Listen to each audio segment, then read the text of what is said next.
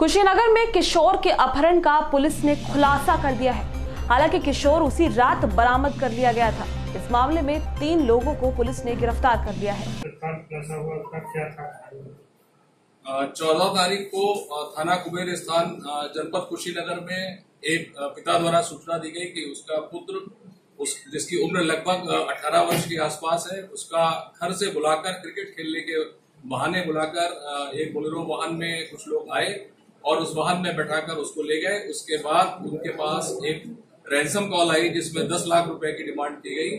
और ये कहा गया कि आप दस लाख रुपए का भुगतान तुरंत करें, नहीं तो आपके पुत्र को नुकसान पहुँचा दिया जाएगा।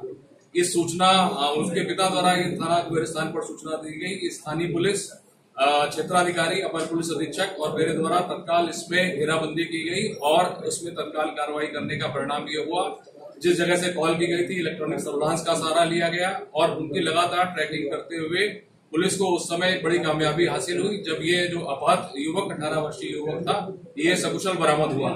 इस घटना को विकसित किया गया और इसमें आज तीन अभियुक्तों को गिरफ़्तार किया गया है, जिसमें ये तीनों अभियुक्त उस वाहन, बोलेरो वाहन में बैठ के आए थे। इसमें अभी दो अभियुक्त शेष रह गए हैं।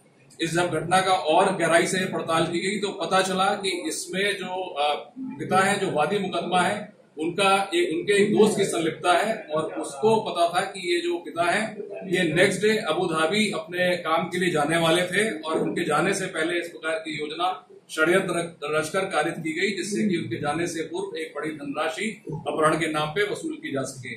इसमें कुशीनगर पुलिस द्वारा तत्परता से कार्रवाई करने के परिणाम स्वरूप आपात की सकुशल बरामदगी हुई है।